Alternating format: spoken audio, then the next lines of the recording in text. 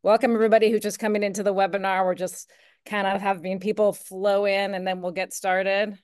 I'm a stickler for time, so I think we'll just go. Let's just go. Let's do this we'll thing. Go, go. All right. So welcome to Cultivating Workplaces That Support New Parents. I'm Sasha Mayer. I'm the co-founder of Mamava. And most people know about our company from seeing our lactation pods in public spaces like airports. Those there's the big, beautiful, bodaciously optimistic spaces designed for um, parents to to breastfeed or use their breast pumps. Um, but actually, the vast majority of our work is done with private employers in the breastfeeding space. And my role, besides being a co-founder at Mamava, is actually, I think the coolest title, title there can be is CXO, so Chief Experience Officer. And that means it's product experience and designed, brand experience, but closest to my heart is actually company culture experience is what we're going to be focusing on today. And before I introduce our excellent moderator. I just want to do a few housekeeping uh, details here. So we are recording this webinar and we will be sending uh, that recording back out via email for all the registrants. And we're definitely going to leave time for Q&A at the end of this session but please use the Q&A channel um, at the bottom of your Zoom uh, during it. And my um, colleague, Megan, who has been extremely helpful, she's the producer and technologist behind making this all work, um, will make sure that we get those questions. So today, our moderator is my friend, Sarah Olin. She is the founder and CEO of Lumo. She is truly a luscious mother which is what LUMO stands for. And she's the leading voice in professional coaching and organizational transformation for working parents. Sarah has been an executive coach and leadership trainer for 12 years, specializing in supporting working professionals transition into working parenthood, which we all know is a really important space to be focused on. And Sarah has coached and trained leaders at places like the NBA, Calvin Klein, Adobe, and countless others. She's also um, my fashion inspiration. So I always love to be doing work and seeing uh, her beautiful face show up on Zoom. All right, I'll hand it over to you, Sarah. Thank you. Sasha, you're the best. Speaking of fashion, that jacket is killer. And and I have to say, I was talking to my sister yesterday and, and telling her about the this panel and she knew about it. It was on her radar anyway. She's also a mom. And she was sharing that, yeah, I was just in Hawaii and saw one of their pods. So I I have to say that um, from entrepreneur to entrepreneur, founder to founder, I think it is the coolest thing in the world to impact people that you will never know and never meet. And you've had that for thousands and thousands of women, which is really extraordinary, and parents. So thank you for the blood, sweat, and tears um, that many have shed to get this product into the world. Yeah. Thank you. Yeah, I'm a big fan. So I'm I'm thrilled to be here today. This topic is so near and dear to my heart. As Sasha mentioned, I've been doing this work for just about 12 years. I, I mark my time in this space with my daughter. She's 12, and I started doing it when she was about six months old. So we're, we're about to get to the uh, 12 year mark here. Uh, but coaching and leadership training fundamentally changed my experience of being a working parent. And our goal at Lumo is to give the tools of coaching and leadership development to every working parent because we know that when a parental leave is announced in an organization, there are three demographics that are impacted the employee going out on leave, the manager who supports that employee, and the team left behind. So at Lumo, we provide wraparound support in our Leading Through Leave program that skills up these folks to have a great experience, right? Because we believe that people want to do right by their companies and companies want to do right by their people, but they don't always have the tools and skills to be able to partner in a meaningful way. So we're here to talk about that. We're here to talk about how do we actually create workplaces that support new parents. And if we're supporting new parents, we're able to support all the parents. So it's it's really such a thrill. And, and part of what we're doing here is digging into culture, not just policy. Policies are important, um, but going beyond policy into the actual employee experience. So we're we're going to dive in, and we're in for a treat today because we are joined by Dr. Carlos Cruz and Sarah Berkeley, and I'm going to have Dr. Cruz start and introduce himself and share a little bit about why this conversation is so important to him. Welcome, Carlos.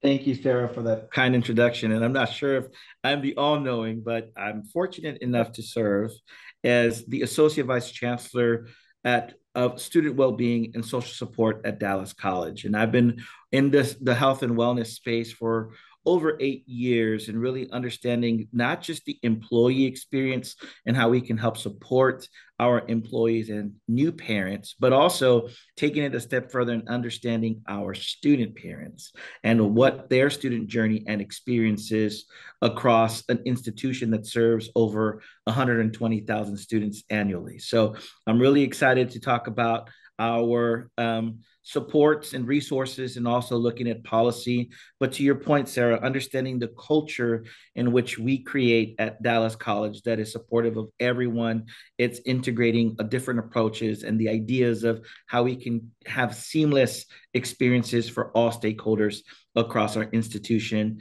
people visiting our campuses, having our employees being sustained in their work and what they can do and you know to your point how the company wants to do right by to their right by their people but the people also wanting to do right by the company right so as an uh, as an institution of higher education we're really excited about this this this wonderful work and very privileged to be here amongst some great leaders in this space Oh, Carlos, thank you. Appreciate you. And they're really lucky to have you down there in Dallas. Uh, Sarah, would you introduce yourself and share about why this subject is so important to you? Sure. Hi, everyone. Thanks for having me. Yeah, so I'm Sarah Berkeley, and I'm the Vice President of Wellbeing and Engagement at NFP. We are an insurance broker, so we work with employers on their health insurance and really any benefit that you could get as an employee. Um, we help employers with that. I've been here at NFP for just shy of 10 years, so almost a decade. Um, and I've been in the employer well-being space for about 15 years. I have a master's in public health. Um, I'm also, uh, I do some advising for some startups and companies that are looking uh, at entering the benefits space, the employer benefits space. Um, I live in Boston, so uh, I'm a New Yorker, but I live in Boston now for the past couple of years. I have two young kids who are ages two and four. So, um, definitely personally, I am extremely passionate about this because I have two young kids. So I understand the struggle of trying to work and also take care of toddlers and little babies. Um, also, just at my job. I mean, it's something that I talk to our clients about a lot um, about how they can support working parents, new parents, working parents, um, and different other ways that they can, or programs that they can put into place um, to make sure that their working parents um, are as productive as they can be and as you know their health and well-being is taken care of as best as possible. So i know we'll get into that later and i'm very excited to be here. Thanks sarah. And and sasha i'd love to circle back with you quickly just to hear a little bit about your passion around this subject Oh, sure. As I said, uh, as chief experience officer, I think about not only the experience of the folks who are using our pods, but also of my colleagues and the, the um, company that we've created. Um, it's it's funny at Mamava, I feel like we must have a birth rate of 200%. It's like when you work at the Gap and you have a lot of jeans. We have a lot of kids. Our CFO actually has five. So um, uh, we think we think about this and we think about uh, creating the space and a conversation around the space around lactation that kind of didn't exist before. And uh, Mamava is a mission based company to solve a problem that I had that my co-founder had um, many, many years ago when we founded 10, 10, years ago. Now my kids are actually uh, 18 and 21. So it's been a long time coming, but um, again, creating infrastructure and support for this fundamental human function that didn't exist before. Yeah, so, so cool. I love it. And this conversation is so timely.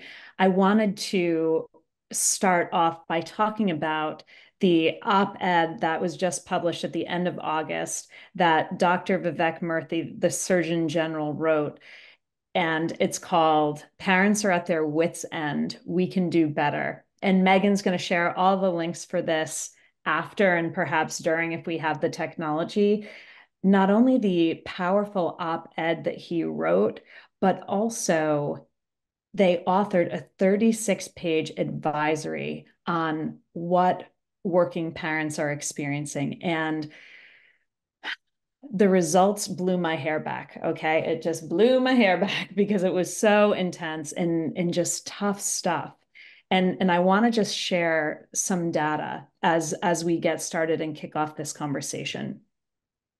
First stat, not, not offensive, just, just the facts, ma'am. 63 million parents are living with children under the age of 18, 63 million. And that is not accounting for the millions of non parent caregivers that we have in the US. So we're talking about a lot of people, a lots of people. Um, 41% of parents report being too stressed to function most days. 41% of parents too stressed to function most days. That's really it's not okay. 48% find their stress completely overwhelming. Additionally, in the last decade, childcare prices have grown by approximately 26% in the US.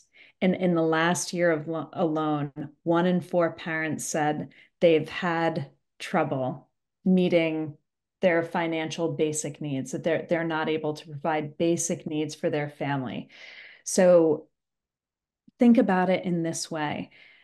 It's almost like imagine a woman with a surgeon general's warning on her a pregnant woman and that's the state of being a working parent in the US so it's we're we're getting into really really challenging territory. And Dr. Murthy says it's it's on organizations and the government to to change this and, and in the words of the great Lizzo, we say it's about damn time. It is about damn time. It's it's time for a music break, I say. Um, but but given the sobering statistics, okay, I want to hear from each panelist, um, and and we'll start with Sarah. What are some of the most impactful policies and practices that employers can implement to support the mental health and well-being of new parents? Yeah, that's a great question. So, um, parents often have a, a, lower mental health and well-being than non-parents um, in the workplace. So, I think first and foremost, what employers can do to support the mental health and well-being is just having access to mental health counselors, whether that be through an EAP, an employee assistance program, um, making sure that their benefits, their health insurance benefits, are robust enough that they cover access to counselors, um, that there's a network of, of counselors. There's also some vendors in the space that have their own network of mental health counselors. Um, so just making sure that people have access to counselors um, and making sure that it's it's affordable. Um, so that's the first huge thing. There's a couple others that can certainly that are less specific to mental health but they kind of support it. So things around paid caregiver leave. So just making sure that there are policies in place that you can get that people can take time off if they need to either have a child or if their child gets sick. Um, that is huge and can affect somebody's mental health and well-being because the stress of having uh, to take off work either unpaid or not being able to take off work. When you have a sick child it is so stressful and really affects people's mental health and well-being. Um, flexibility in the workplace too is really important. Um, so making sure if possible obviously depending on the industry and the office space uh, you know some businesses can be more flexible than others, but as much as possible, trying to provide flexibility in the workplace, um, giving people the opportunity to take care of the things that they need to at home and kind of doing their job also um, kind of fitting it all in. Um, I think those are probably the ones that the first ones that sort of stand out to me. Um, I'm sure some others have some things to add. Yeah, thanks for that, Sarah. Carlos, what what do you see from a mental health and well-being standpoint? Yeah, no, I think you know Sarah brought up some really great points. Is having that EAP as part of our wellness initiative. But one of the things too is incorporating a good transition after some of our new parents take parental leave, right? So there has to be some transitional programming that we've been intentional at our organization and ensuring that transition or that on ramp back to the workplace is as seamless as possible. So not only having the resources available for them through a Mamava lactation pod or having a serenity space for them just to kind of catch their breath during the day it is important. And we've done a really good job, but having those wellness components as part of the overall well-being for our employees is, is really crucial. And I think over the past four months, we've also evaluated our parental leave. It used to only be six weeks of paid parental leave. We extended that to eight with the potential of 12 if they had some other sick time. So essentially giving our new parents three months to really be with their newborn child or adopted child. And that incorporates you know a variety of different situations for new parents right? Because everyone can become a new parent in a variety of different ways. So incorporating and being inclusive of those needs have been integral and have been supportive of not just our board of trustees, but all of our executive leadership, right? So that for us has been very intentional, and that's on the employee side. On the student side, we've taken it a step further because in the state of Texas under Title IX, student parents have some protection as they would, you know, go from a medical withdrawal to, you know, have their child. But we actually implemented through legislation in the state a student parent leave policy where they can get an accommodation, go on, have their their their child be with them, come back and not lose their credit or the momentum on their academic journey. We also implemented through our basic needs and community connections department a family care program. And the family care program, you mentioned the statistics about the child care needs and the, the the the price increase on all of those resources. So what we did in our family care program that has really helped out our students is we provide all of the safety and essential equipment for a newborn child, right? So we provide safety equipment such as car seat, high chairs. We provide formulas, diapers, wipes, but it's a three-tiered approach. We're, we're focusing on meeting those basic needs, but then we provide group counseling for all of our student parents, and then provide financial and career literacy programs and workshops for them to think about okay, now you're, you're a student parent, you're here at the community college, but how can we get you to transfer or earn your credential to have a high living wage career? Right? So all of these aspects fall in line with our wellness initiatives, but incorporating twofold, not just employees, but our students, because far too many times our student parents are marginalized student populations. They've been overlooked for, like you said, it's about time, right? It's about time that we can focus on these on these students and how it's important for us to provide all of the resources in in in our at our campuses and as an organization for their for one their academic success but also personal success. Carlos there is so much i love about that and i just want to give you a big hug. Um, first of all the call back to lizzo beautiful. But this policy this um, transitional programming this is the most robust actually that i've ever heard. And and i literally all day every day talk to organizations about what they're doing. So huge kudos to you and your team. It is that is extraordinary. That is the gold star going forward. I'm going to be telling people about the safety equipment the counseling the diapers the whole enchilada. Thank you. That is amazing. Excellent. Sasha how about you um, in, in terms of policies, well, you know, we are focused again on, on lactation. Um, so I will focus my answer on that.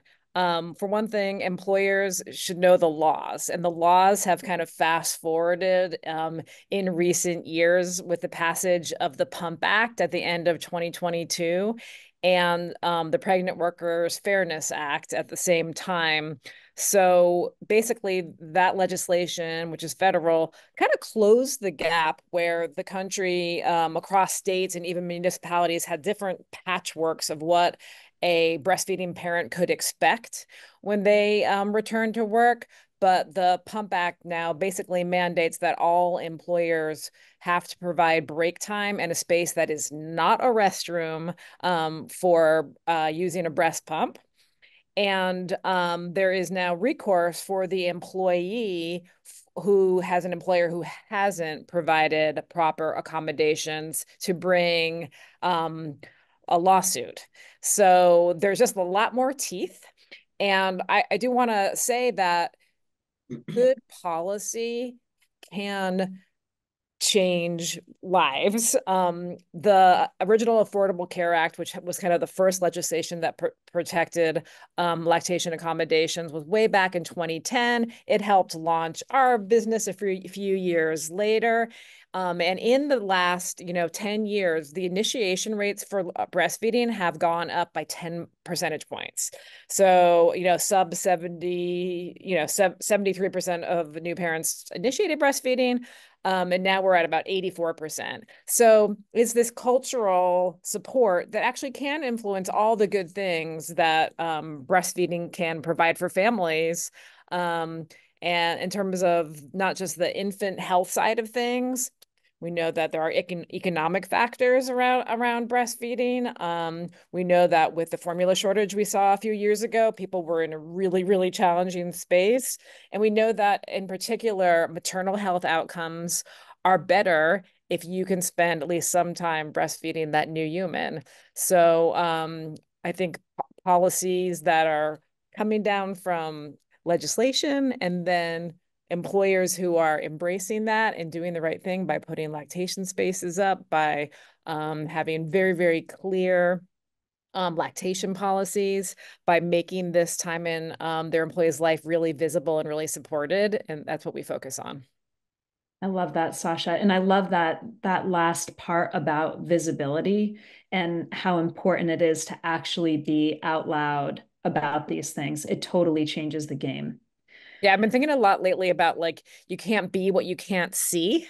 Even mm. in our sort of political realm, as we go out and talk, I'm like, oh, we we see more, you know, women are having these conversations or men who are talking about care, right? Yeah. Like Carlos, right? But even in the breastfeeding world maybe you're maybe you're not going to be a breastfeeding person uh, or maybe you will someday but to see that there's a lactation room or a lactation pod in a business you work in says like oh i can do that. I, this company is going to support all aspects of my life. A hundred percent. It's sending a message loud and clear they that they care. Yes. Yeah. Love that. Love it so much. Sarah i've got one for you okay so we're living in this important historical moment where there's significant change. There's a lot happening politically with the upcoming election. There's a lot of focus right now on the care economy. And I'm curious through the work that you do, what do you see drives change most significantly in the workplace? What what have you seen, Sarah, that works? And where is there still opportunity? Because I know there's often a gap with utilization and things like that. So I'd love to hear, you know, what you've seen in your line that's most impactful. Yeah, absolutely. I mean, to build on a little bit of what Sasha said in terms of policies and things that have been helpful, under the Affordable Care Act, it did state that insurance had to cover a breast pump. Um, and I feel like that was a huge that was huge. Um, that allows women and breastfeeding people to go back to work and also continue to breastfeed if they choose to. Um, so you don't really have to make the choice, go back to work or breastfeed. You know, now it just it, it made it it's so much it's it was an expensive thing and so it, it made it more affordable or it made it free um, and made it just basically easier for um, people to to breastfeed um, and go back to work. So that was a really big thing. Um, the other thing over the last couple years is um, a bunch of states have na now have paid family leave. Um, and so it varies state to state and not all of the states have them. Um, so some of them are more generous than others. Obviously, we hope that all of the states can kind of put something like this into place, or maybe at a federal level, there can be something done. But for now, there are a handful of states where you can get paid family leave. So that means if you either have a baby yourself um, or if you you don't have to actually be the birthing parent um, it could be through adoption surrogacy um, you can take paid time off. Um, the amount varies and the length varies. So sometimes it's eight weeks up to 12 weeks sometimes it's a little bit more um, depending on the state. Uh, there's usually a percentage of your salary that you can make during that time up to a cap. Um, so it's not 100% pay but it is it's better than nothing. And um, it, it, it quite literally is life saving because a lot of people, a lot of birthing parents, they need to heal. They need time to get themselves, you know, back together. They need, they want to bond with their baby, but they also are worried about their jobs and making money. And so you don't, this sort of helps them not have to make that difficult decision. Um, and then it also allows a partner to stay home and either bond with the child and or support the birthing parent who might need more time while they're recovering. So those paid family leave policies in the states are have been great. Um, they're not perfect. Sometimes they're a little bit clunky especially as they're sort of rolling them out. So um, I think the more that people use them, the, the, the, smoother the process will be, but it's certainly some really good momentum. Um, the other thing that's been coming up a lot more is universal pre-K and subsidized childcare.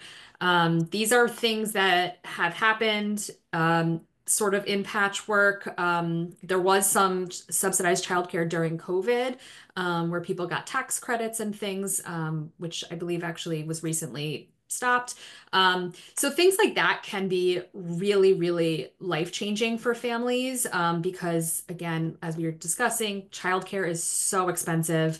Um, and so giving people access to subsidized or free childcare makes it so that they can work. Um, you know, if you have a little one at home, it's really tough to get work done, um, at least to get work done well. so if you want to have people working hard and being productive, you know, these are things that really uh, make a huge a huge difference. Um, and I hope with the election, you know, these are these are things that are being talked about now. Um, and so hopefully it'll the momentum will continue and these things will expand. Thanks for that, Sarah. I I hear from founders and some smaller business owners and even more mid level up to enterprise that they really have some challenges around compliance with leave because state to state it varies so much right? We don't have a national policy. And for for international companies they're saying you know we're we're over in Europe where it's completely different. So it can get really challenging and complicated really quickly. Yeah, and I think especially with global organizations to your point, it's a it's an issue of equity, right? And fairness. So so okay, my colleagues in Europe or wherever are allowed to have full pay at you know six months off whatever it is and so what about what about the people in the us like how does that look and how does that work um, so it, it, to your point it can get sticky and complicated um, and there's sort of this equity issue of why isn't everybody kind of getting the same option Right. And not just in Europe, but state to state. That's even, yeah, that absolutely. feels even more awkward. yeah. No, that's a good point. yeah. Thanks for that. Sasha, tell us a little bit because lactation is your love language. Tell us a little bit about the key components of a lactation program and what does that look like how how is it actually beneficial for employees and the organization yeah, so I think it's removing questions is really key. And again, as I said, um, setting that intention by having um, the policy for a lactation policy out there, um, uh, what the expectations are for the employer, what they're going to provide, having this information be shared uh, openly with managers in the um, employee manual as an example um, so everybody knows what to expect. Again we talked about that scary time when you are um, going to become a new parent and not having um, everything you know everything is new in that case So, um, a lactation policy, um, having the law be well understood by all stakeholders, including the employee, um, having a designated lactation space, of course. And again, it doesn't have to be a lactation pod for Mamava, but um, a designated room that is secured for that purpose, that is a place where you can get into the headspace for those folks who haven't breastfed or um, use a breast pump. There's a psychological component of it as well as physiological, and the two kind of have to, until you get good at it, have to be kind of working in tandem. So that that space really, really, really matters. And um, again, when an organization has the infrastructure and support dialed and clear, it kind of takes away the mess, right?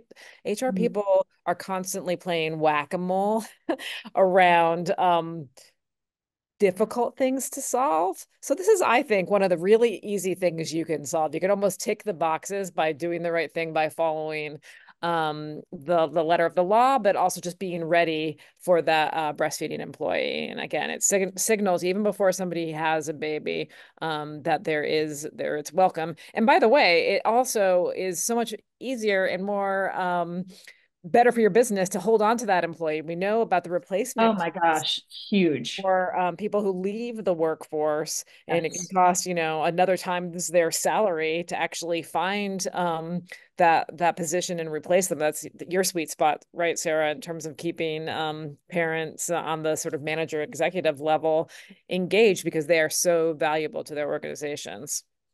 Truly, Sasha, and I love that. I really love the you know it it really it does check a lot of boxes but i love the thing that i love the most about it is the signaling of it's welcome it's expected we're ready we're ready for you we're ready for your next step as a person um, in this company it's it's huge um, I wanted to circle back to the child care conversation, and you mentioned it briefly, Sarah, about the child care credits. And I want to reference a study done by friends of Lumo, Vivvi, in the fifth trimester, where they showed how the taking care of caregivers really impacted the bottom line in terms of engagement, productivity, and things like that. So I want to share just a few data points. And again, Megan the Great will be dropping this in the chat and it will all come in an email following the webinar. So a few findings from the study that I thought were so important. 69% of caregivers would work in person more, more than required if their employer had on-site subsidized or backup childcare, which is huge because so many of the organizations that I work with still are grappling with how do we get people back? How do we not just mandate it, but make it accessible for people to be back at the office more. So almost 70% would come back if they had subsidized childcare. Nine out of 10 would choose an ongoing childcare subsidy over a one time cash payment. It really, I mean, that speaks volumes. And 59%, almost 60% would stay in their job for at least four years if they had backup or subsidized childcare. And again to Sasha's point around the economics of this, it companies are saving millions and millions of dollars by actually retaining those great employees that they want to keep. And then finally, something that I loved was that what what caregivers say is that 4.2 out of 5 that they're more motivated to be effective and productive um, when their caregiving needs are met so it's there's so much from a business standpoint. And it's so important that stakeholders and the people that are advocating for this on this call, because we know a little bit that the people who are here were preaching to the choir that y'all already care about working parents or you wouldn't be taking the time out of your day to learn about this but it's really important that we have data that supports what we already know it's not just good to do or right to do, it's good for business. So I want to come back to Carlos and talk about the the amazing and cool work that you're doing down there. And we know how important retention is but i want to talk about attracting. So what attracts both your employees and your student parent um, your student parents to come to dallas college what yes i no, yes, sir. I think that it's a culmination of all the good things we've been talking about, right? And one of the most important factor, and one of now jump on this childcare piece, we have an integrated collaboration with the YMCA of Dallas, where we are now bringing on-site drop-in childcare for not just our students, parents, but also for some of our employees. So it could be where they can get you know, four hours of free subsidized drop in childcare and then probably get a babysitter for the rest of their shift, right? So, as we look at being the best place to work, we're not in that category just yet as Dallas College, but looking at becoming the best place to work really entices not just our talent pool for employees, but what we can provide our student parents here at the institution. So, looking at the overall holistic journey for both of those populations here at Dallas College is what we really strive ourselves in in shining and being able to provide that to our students free of charge. One of the things that we also do as an institution is we don't charge any fees for these resources. Our students have one payment of tuition and everything is included. And the Board of Trustees has been really intentional with ensuring that we can minimize the cost factor for our students, but then also minimize any barriers that may be for our new parents that you know just you know have a newborn at home and why they you know extended that parental leave.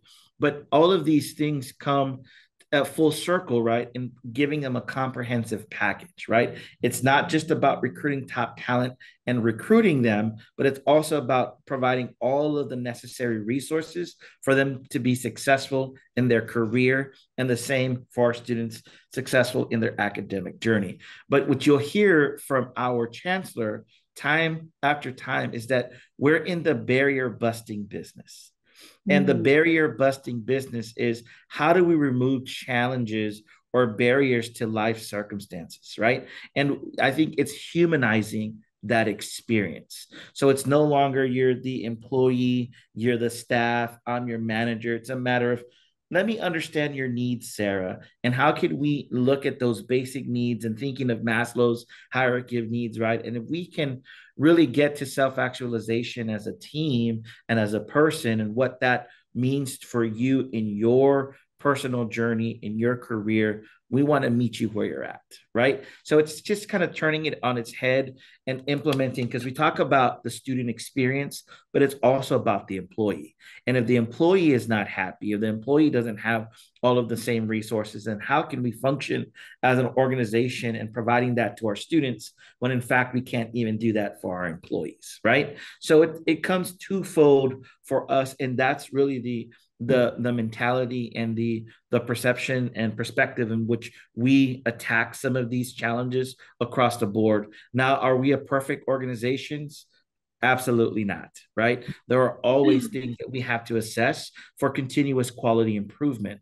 But you know having legislation having federal laws that give us the opportunity to put some of these things in place as sasha was saying you get more teeth behind it, right? But then you really are invested in guaranteeing an employee experience or a student experience that attracts people of wanting to be at your organization, right? And that's part of our wellness initiatives for employees. That's part of our well-being and student success initiative that you know I get to uh, oversee, but you know where it really complements each other because there's also we also have part-time student employees. So you have that kind of coalescing at the same time. So we want to make sure that we have our employee benefits available to some of these student parents, but then also our student parents, the type of resources that they receive. And more in particularly, one of the other things where in higher education, you'll see a challenge is you have all of the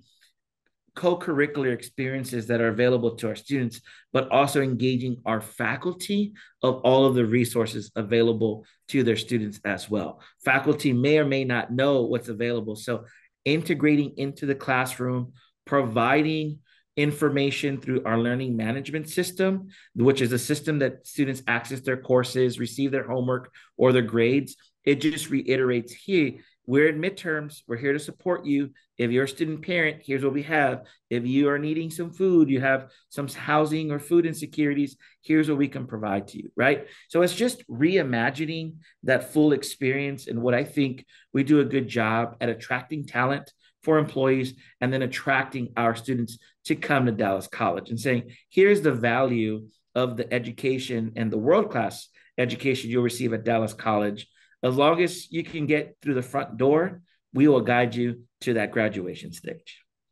It's amazing. Carlos, it's funny. I think that um, one of the one of my favorite things that you said was talking about humanizing the experience. Exactly. And at Lumo, one of our values is human-centric leadership. Yes. Um, and we we have to start with human beings. We have to that's that's the baseline that um, and there's a dignity and there's an opportunity.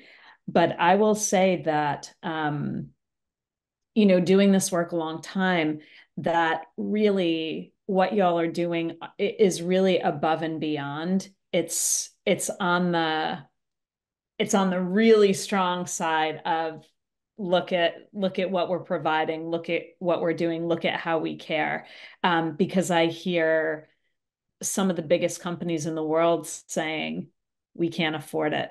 And and what they're actually saying is we don't want to afford it. We're not willing to afford it. It's not a priority. And it just it's really really inspiring for me to hear you share about the ways in which you're not just saying we care about people but here's how we actually care about people. And um, i will say this too for you carlos we get immune over time to the things that we're really good at or we take them for granted. We're like yeah sure, that's yeah. just that's just tuesday everybody. No biggie. But i i just want to let you know that what you're sharing is actually a biggie. It's a biggie. Yeah. Thank you. Yeah for sure. Thank you. Um Sarah, you're you're a benefits babe, you're a benefits maven. So I want to hear um, your favorite most innovative benefits packages. And and carlos is you know an undercover benefits babe but but what's what's your favorite most innovative things that you are seeing out there yeah, so obviously this is a huge issue I talk about with my clients all the time. It's also it's an inclusivity issue and it's sort of interesting when Carlos was talking I was thinking about it because when I speak to my clients, it's really, I mean, childcare predominantly falls on women, right? And that was, that's why so many women left the workforce during COVID. Um, it's often why they leave the workforce in general. And so I'm listening to Carlos and I'm thinking too, probably it's really helpful for women who are students to continue to get their degree and their education, which then lends itself to earning potential over the years. So I just think it has these ramifications that go well beyond their time at your organization, right? It helps society as a whole. Um, so, and yeah, so there's a bunch of um, some of the best programs that I've seen, as we've sort of discussed, are the caregiver support. Mm-hmm. Um, so those are things like backup childcare, discounts um, or subsidized um, memberships to childcare centers, on-site childcare if possible. I know that's not always possible. Um, reimbursing for out of care, out of network caregivers, um, digital resources. There's um, coaching and care coordinators. To, so there's sort of this navigation of where do I go if I need help um, to help care for a child. So there's so many um, there's a lot of companies and vendors out there now who are offering these things. We offer it at NFP, um, and I have so many more clients who are um, trying to put these types of programs in place if they haven't already done so. So, and these are things that employees will leave their jobs to go somewhere where they can get this wow. type of support. Um, and frankly, your your employees are going to do a better job if they have access to caregivers. So having a backup program, I personally have used it a bunch of times, the one that NFP offers, um, and it has been a lifesaver. I mean, just to be able to get a, a last minute babysitter when my childcare fell through, I had an important meeting. Um, my husband is a surgeon, he cannot cancel his surgeries. So, you know, it always sort of falls to me. Um, and it has been, it, it has saved me several times. Um, a few other things too are, you know, I've mentioned it already, the, the paid caregiver leave. So looking at your parental leave policies, both paternity and maternal maternity leaves, um, trying to expand that as much as you can. Um, flexibility also super important, um, allowing hybrid options if possible. If that's not possible, maybe there are ways that people can sort of change their shifts if it's a shift work type of program. So are you able, is that easy to do to sort of just swap shifts for things like that? Um, you know, these are just things that'll allow people to accommodate their life right and and if there's pro if there are things going on at home they're really not going to be that focused at work so everyone is sort of better off if they have some flexibility so they can deal with some of these things um, of course lactation rooms um, and or or like you know a space for for mothers to to express their milk if they want to and then lastly i will say and this is um a little bit more harder to pinpoint, but just the culture too. I mean, there needs yes. to be this culture within an organization of acceptance. There needs to be people in leadership actually participating in the programs talking about the programs. Mm. need to lead by example and you know need people need to show transparency. When when they themselves are struggling it's important to to say that to your team. If you're a leader right say hey you know what, my kid's homesick today. I, am not going to be as, you know, active as I normally am, or I'll get back to you tonight after bedtime, or, you know, whatever it is. So I just think that kind of helps lend to a culture where people are comfortable talking about it. They feel like it's okay. If you're doing your job well, you're getting your work done. Um, then, you know, things come up and we all, we all sort of need to understand that. And that just comes back to the culture. Yeah, Sarah, I'm so glad you brought in the culture piece because, in my experience, it's the most important. People can have policies for days, but if the culture doesn't match the policy, it's it, it creates mistrust and misalignment. There's an organization that we do manager training for. And when we went in to speak to them, they said, We have wonderful policies, and our managers are not great people leaders. And I mean, their get their people get massages, all kinds of things. Carlos, we put that in the future planning for Dallas College, the massage stations. But you know, they get massages, all these things. Meanwhile, an employee announces leave, and the manager says, Well, Q4 isn't good for me. Isn't good for us. And it's like, you know what happens to those massages? They're meaningless. It's empty. It doesn't matter anymore because the that human element is missing. Um a friend of yeah, mine it's it, it's a, no i'm gonna say it's important to just it's humanizing that experience as part of your culture and that just just takes a shift because you can provide all of the resources but that one moment where it becomes problematic or it's the companies and you know in goals or ideas that come before you as a person, then you've lost all credibility and trust in what you truly have intended those resources to be, right? So I think it, it there's always flexibility in what you can do. It's just a matter of how you present it. And yes. it's not forever, right? We know it's not forever, but having a child is part of life and everyone has to go through it. And I was going to share we just updated one of our policies or practices that we had for children on campus. Before, we had a very stringent policy where student parents couldn't bring their child in the event that they didn't have childcare and they couldn't go into the classroom faculty would say, no, you can't come to class.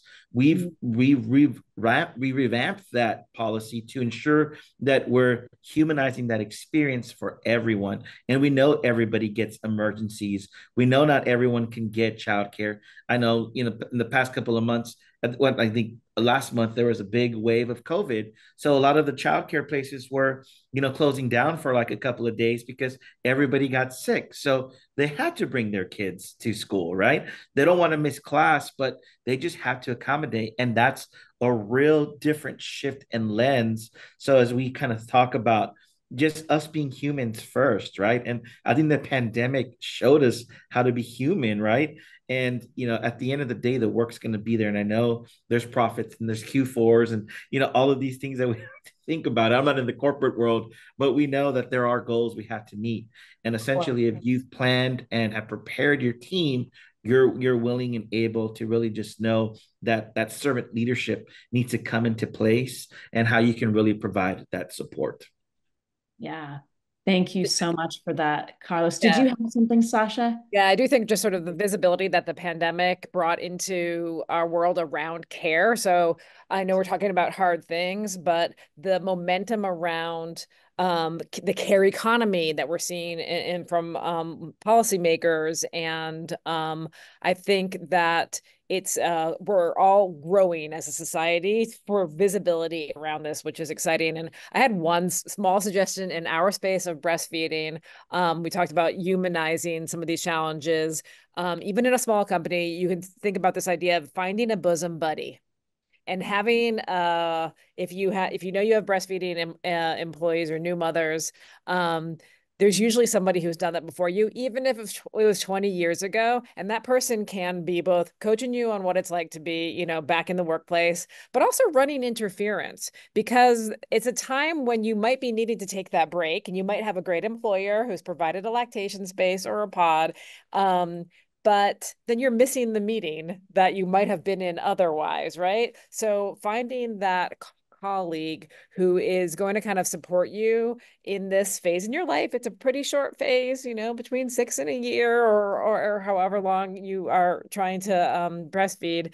Uh, but even thinking about things that are not written into a lactation policy, but more on the human scale, if this is something you care about um, as a manager or as a breastfeeding parent who wants to kind of uh, spread and facilitate that in somebody else, like that, just think about that bosom buddies idea. And we have a we have a um, a mobile app, and one of the top features besides finding lactation spaces is actually words of support and it's mm-hmm. moms who are leaving words of support for other moms because they know it's kind of like this set period of, of your life and it's a lot of work. You've got your job you've got your family and then you have this breastfeeding thing you're doing. So just recognizing that in each other and, and your colleagues who are breastfeeding is just can be a lot in a, in a really positive way.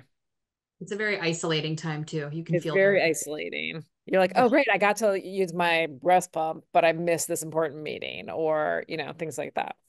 For sure so I know, Sarah, are you looking at the question? I'm looking at the chat. It is blowing up. We need an hour for the chat. So I think we can we can cycle back with some of the content that we share. Um yeah, and I and, think that we can take anything yeah. that we don't get to and include it in the follow-up email to address at a high level. Um, so what do we say? We'll start at the top and just see how far we can get with some speed answers. How does that sound? That works. Speed round. Right. That's speed round. This is a speed round. Let's do it. How do you rectify when you are making improvements in policy, but it's still not enough? Six week pay, six weeks paid is an improvement, still not enough. I don't, I don't even know what day it was at that point. Absolutely. Right. Yeah. I think that, uh, again, this is momentum around um, paid leave. We are um, very much involved with an organization called the Chamber of Mothers, who is advocating for um, national um, paid paid family and parental leave. Now we think about family leave too, because you know many of us are in that sandwich generation now taking care of our elders. The other organization that is investing a lot of time and has a ton of great resources is called Caring Across Generations, which uh, is a wonderful, uh, very uh, powerful organization. These are the folks that if we can pass paid leave in this country, they will be behind it. So um, keep on um, keep on voting, um, and we totally agree. Six weeks is not enough. Agree wholeheartedly. All right, Robin Bell, what percentage, and this is going to be you, Sasha, what percentage of US companies over 100 employees have installed lactation pods? I would hope that, I mean, it's not um, always pods, right? We Our mission is around lactation spaces, although we do make pods. I don't know that statistic, but I would hope that 100% of companies of over 100 employees have lactation spaces. By law, they have to. Mm, yeah, it would be interesting to know what the actual stat is.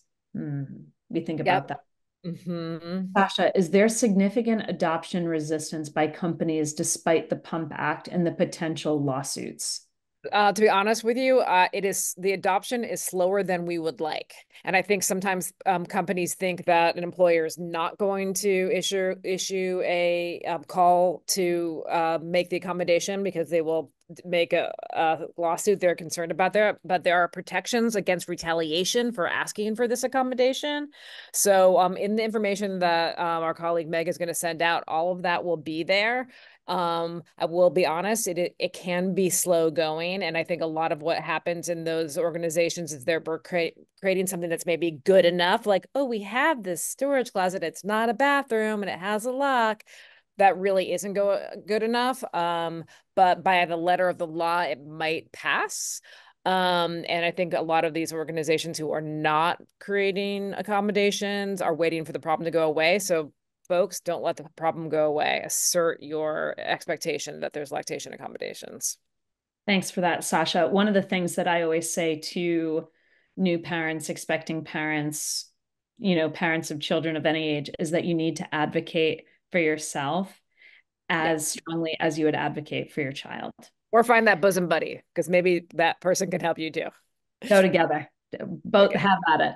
Uh, power numbers. Uh, Lourdes says, I agree. We're through a good momentum with the Pumped Act in the PPFA, which provides legal and financial support to families. Policies do not ensure the full utilization of the benefits. We need to work hard on culture as well. Besides appropriate training to managers and supervisors, any other suggestions to improve culture? Um, Sarah, did you have it? I've got something. You yeah, I mean, I think some of it is sort of some of the things that I talked about. Um, so again, like having leadership talk about it, be open about it, promoting it, participating in these types of programs. Um, definitely training is is important as well. Um, I mean, changing policies if you're going from nothing to something or just improving them also is sort of around the culture too. Um, yeah, employee resource groups. I mean, we have seen that yeah. in some of our big accounts where the employees themselves yeah. became uh, you know, the parent employee resource group became powerful enough to actually change policy. And I'm talking at some of the biggest companies in the world. So that is, um, uh, that's a, that's a good one. Beautiful. And I see my friend Yoko is here, who is amazing. We met when our babies were little teeny weeny babies. And she's a part time doula, lactation educator. Um, and she'd love to provide students with their rights as advocacy tools. There's there's a woman the mama attorney. She does a lot of work on that. I'm sure she's probably on your radar but perhaps we can include in the email any other resources that we have around advocacy. Um, as a working parent i've mostly worked for small companies 25 and under mostly with non-parent leaders and frequently as a freelancer how do people exercise their rights in smaller work environments? It's so hard. It's, it's so hard. hard freelancers and independent contractors. Sarah do you have something?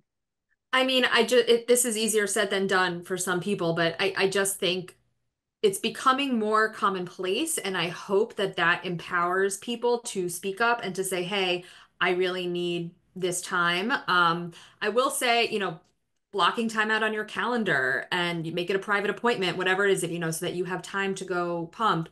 Um, you know, trying to, if you can, depending on your industry, scheduling meetings around those times, things like that. Um, I think it's it's just trying if you are in a position of power, if you are some kind of leader speaking up, um, trying to, if you, you know, if you have an employee who is going out on leave or having a baby, I mean, talking to them about it. I, I think that's having conversations around it and just advocating is really the best that you can do at this point and knowing that you do have the law on your side in many cases.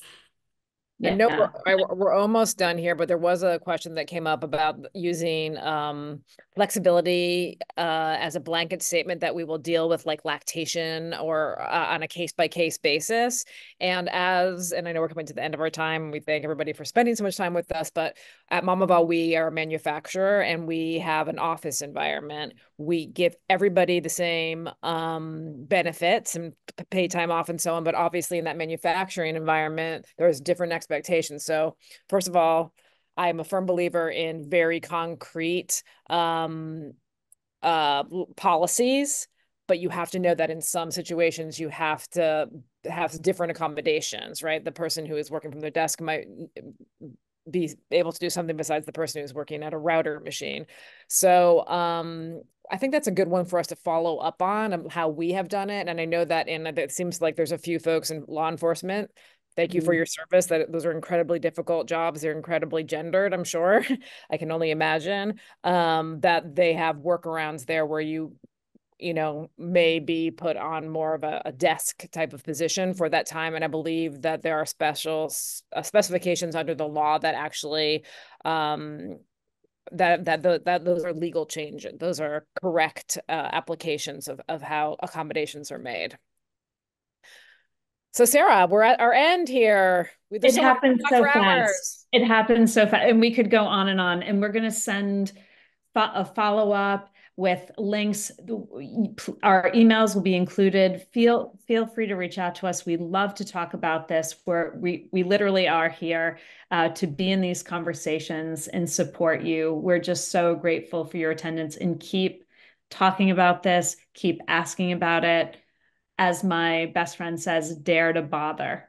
Dare to bother about this. I love yes, yeah. Make those pumping times on your calendar public, Sarah. You want to make those public so everybody knows right. what you're doing. That's Help true. Normalize it. That's Sarah, true. public. And Sasha, I just want to say thank you for having me and the crystal that um All right, well, that's up for a whole nother webinar. Thank you, everybody. We will send this information, Carlos, Sarah, Sarah you, and our friend Meg uh, behind the scenes here. Thanks for a great um, event. We'll talk to you all soon. Thanks, Bye -bye. Thanks Sasha. Appreciate you all.